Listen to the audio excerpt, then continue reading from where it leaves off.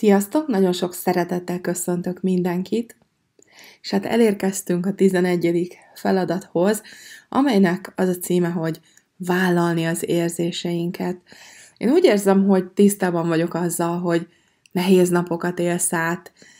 Én azt gondolom, hogy az embernek a legnehezebb vállalkozás szembenéznie önmagával.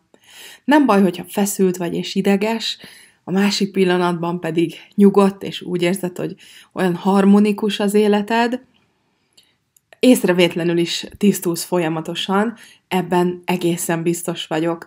Nagyon fontos, tudom, hogy már említettem, de ezt nem lehet elégszer elmondani, hogy azokat a gyakorlatokat, amik olvasáskor is fájnak, mindenképpen végezd el ha valami érzelmeket vált ki belőled, akkor egészen biztosan még dolgod van vele. Nagyon fontos, hogy ne söpörd a szőnyeg alá, kérlek. Nézz szembe vele, bármilyen fájdalmas is, mert így fogod tudni elengedni. Az a fontos, hogy legyél önmagaddal nagyon őszinte. Hogyha magadat nem csapod be, akkor tudod önmagadat másoknak is megmutatni. És akkor már biztos lehetsz abban, hogy azért szeretnek az emberek, aki valójában vagy. Úgyhogy a mai nap az az őszintesség jegyében zajlik. Én világéletemben azt gondoltam, hogy egy végtelenül őszinte ember vagyok, míg nem egyszer szembesítettek azzal, hogy már megint azt mondom, amit szerintem a másik hallani akar. Hát kiszíneztem egy kicsit a történetet, hogy talán így majd jobban imponál a másiknak. És komolyabban elgondolkodtam, és talán életemben először tényleg őszinte voltam magamhoz, beismertem azt, hogy nem vagyok őszinte. És eszembe jutott, hogy hányszor, de hányszor ferdítettem el gyermekkoromban is az igazságot csak azért, hogy megfeleljek. Hogy kapjak egy csöpp odafigyelést, törődést, szeretetet. De az igazság az, hogy nem volt előttem sok jó példa. Körülöttem a felnőttek mind hazug világban éltek. Én láttam azt, hogy hogyan csapják be, hogyan csalják meg egymást, és azt gondoltam, hogy ez a természetes, hogy ezt így kell csinálni. Ezt a mintát hoztam magammal. Nagyon sokat dolgoztam rajta, és rengeteg időbe telt, mire teljes mértékben felmertem vállalni önmagam. Amíg eljutottam oda, hogy elhittem, hogy én értékes vagyok akkor is, hogyha igazat mondok. Értékes vagyok akkor is, hogyha önmagamat adom. Sőt, az igazi értékeimet csak akkor tudják megismerni az emberek, ha megmutatom önmagamat. Én nagyon sokat csalódtam emberekben, amikor rájöttem, hogy mást mutattak, mint amilyenek valójában. Aztán megértettem, hogy én sem voltam különb. Ma már keveset csalódom, mert nincsenek elvárásaim az emberek felé. Merem megmutatni magam, és elfogadom azt is, hogyha ez valakinek nem tetszik. De ma már mindig tudják az emberek azt, hogy mire számítsanak tőlem. Így bíznak bennem. És ez azért van, mert én is megtanultam bízni önmagamban. És merem megmutatni azt, aki vagyok, merek őszinte lenni. Most már tiszta szívvel nyíltan beszélek a múltamról, az elkövetett hibáimról, és ezt természetesen idézőjelbe rakom. Tudom, hogy ezek által erősödtem, és lettem azzá, aki most vagyok. Ezek is hozzátartoznak az életemhez. Hogyha valaki feltételek nélkül szeret, akkor nem csak a jelenemet, hanem a múltamat is elfogadja. És az is ugyanolyan fontos, hogy én is természetesen elfogadom az övét. Éppen ezért itt az idő, hogy megbocsáss önmagadnak.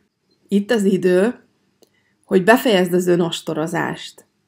Hogy merd végre megmutatni azt, aki valójában vagy. Hidd el, hogyha valaki nem fogad el úgy, ahogy vagy, akkor nem téged szeret, hanem a saját elvárásait keresi.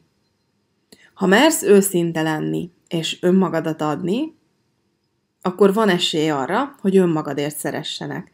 De amíg színészkedsz, addig a színészt szeretik csupán. Arra kérlek, hogy most mondd el bárkinek egy olyan idézőjeles titkodat, amit eddig nem mertél, vagy szégyeltél. Méghozzá azért, mert mélyen belül azt gondoltad, ha megtudják, akkor kevesebb leszel tőle. Hidd el, hogy meg fogsz könnyebbülni, és büszke leszel magadra. Talán eddig is szeretted volna megosztani azokkal, akik közel állnak hozzád.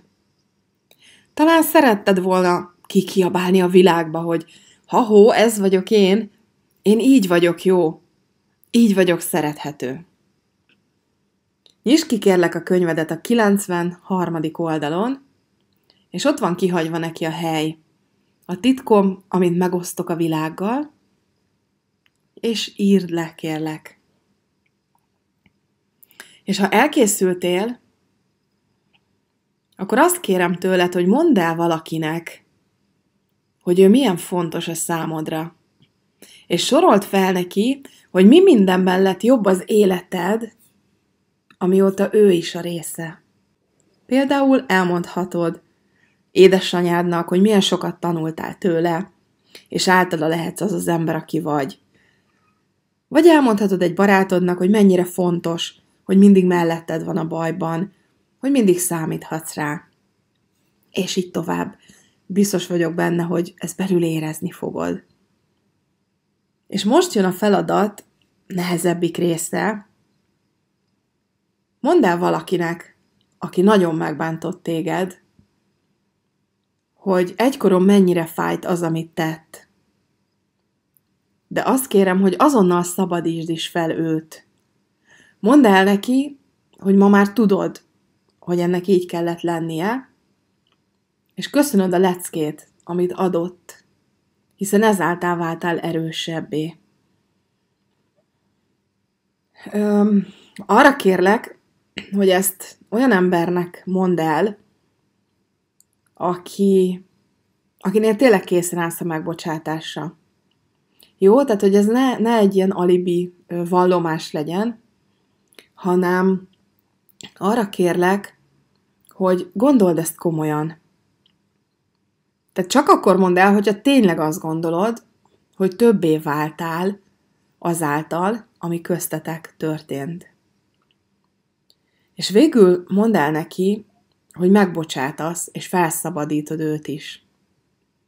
Ha úgy érzed, hogy még nagyon bátortalan vagy, akkor akár megírhatod egy levélben is. Később biztosan szóban is menni fog, érzed majd, amikor eljön az ideje. De hidd el, hogy meg fogsz könnyebbülni, és ezek nélkül a terhek nélkül folytathatod az utadat tovább. Tehát itt az idő, hogy elfogadd önmagad és elhidd, hogy te úgy vagy jó, ahogy vagy. Téged így kell szeretni. És ha meggyógyítod a lelked, akkor nem akarsz majd mindenkinek megfelelni. Akkor már azt fogod figyelni, hogy ki az, aki neked megfelel. Sok sikert kívánok a feladathoz, minden jót, rövidesen újra találkozunk, sziasztok!